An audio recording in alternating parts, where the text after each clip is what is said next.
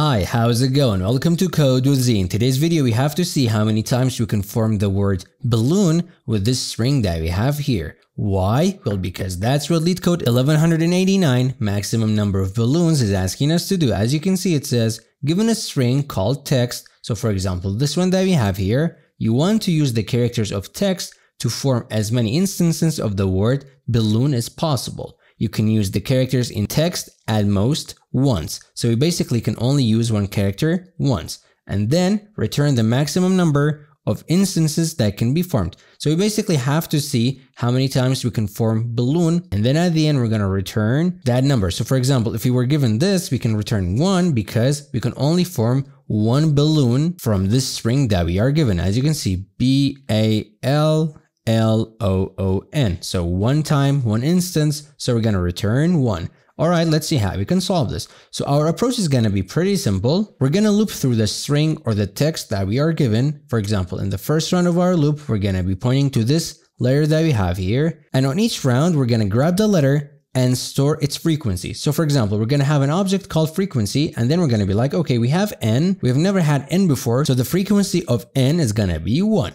And then we're gonna move on to the next round. We're gonna be like, all right, have we had L before? Not really. So we're gonna put it here and we're gonna be like, okay, the frequency is one. For example, if we had another N here, we would just add one to this frequency number that we have here, and that would be it. And then we're gonna move on to the next one. We're gonna be like, do we have A in our frequency object? We don't. So we're gonna be like, okay, one occurrence of A. And then we're gonna do the same thing for E. We have one E, and then B, we have one B, and then O, we have one O and then L.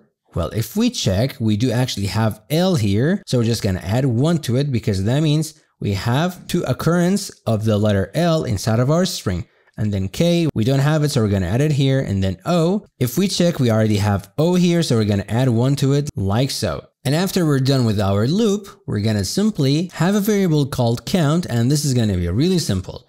When we have count, we're gonna loop through this object that we have here and we're gonna say if there are 1B, 1A, 2 L's, 2 O's, and 1 N, these are the letters we need to form balloon. If we have these inside of this object that we have here, increment count. Well, if we check, we do have 1B, we do have 1A, we do have 2 L's, two O's and one N. Now that we have them, we're gonna decrement them because we're gonna use them. So N is gonna become one and because we need two L's, in the word balloon. We're going to subtract 2 from this one, but this one is going to get subtracted by 1, this one as well, and this one too. So we're going to do this and these are going to become 0 and we're going to increment count. Now we know we can have at least one balloon out of this string that we have here. If these were not 0, meaning we had more letters here, we could keep on looping through this each time we're gonna decrement these and increment our count. Now that these are zero, we're gonna stop and we're gonna return our count as our answer. Now let's code this in the simplest way possible. Alrighty, let's code this together. So just like we saw in the slides, the first thing that we need is gonna be our frequency object.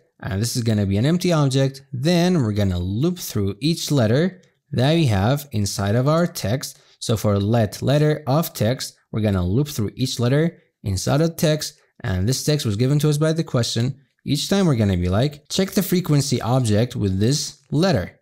If it exists, we want to add 1 to it, and if it doesn't, we want to initiate it with the value of 1 because we have one occurrence of that letter inside of our text. So we're going to say frequency object of that letter plus 1.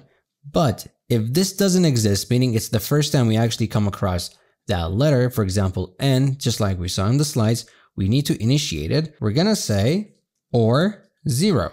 So it's saying if this does exist, get this one and then add one to it. If it doesn't, get zero and then add one to it. And whatever this is gonna be, that's gonna be the frequency of that letter that we have here. Now this is gonna fill our object and then we're gonna initialize our count to be zero in the beginning. Now we're gonna have a simple loop to check how many times we can form the word balloon. After you actually have this frequency object filled with the amount of occurrences of each letter that we have, there are a lot of ways to actually find how many times you can form a word. I'm gonna go with this approach because it's more intuitive. There's another approach that requires some division and finding the minimum, but I think this approach is gonna be more intuitive and easier to understand. We're gonna say frequency at the letter B if it is greater or equal to 1 because we need only one occurrence of the letter B inside balloon and if frequency with the letter A is also greater or equal to 1. You see where I'm going with this? And frequency with the letter L, this has to be greater or equal to 2. And then same thing for O, we're going to say O greater or equal to 2. And then at the end,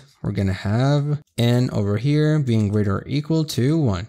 If this is the case, we want to keep on looping and each time we're going to be like, since we have these letters, we need to use them and then increment count. So we're going to say frequency of the letter B, decrement, frequency of the letter A, decrement, frequency of the letter L should be equal to frequency of the letter L minus 2 because we need two L's to form balloon and then we're going to have something similar for O. So I'm just going to use O and then same thing for here.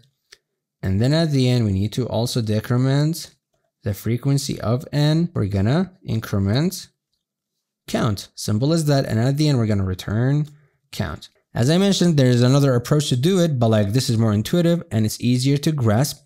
So let's run this and see if we can actually get accepted. Moment of truth, I hope I've not made any typos. We got accepted. Let's see if we can actually submit this and pass all the test cases. And yep, we got accepted. That's awesome. Thanks for watching. Don't forget to like and subscribe and keep on coding.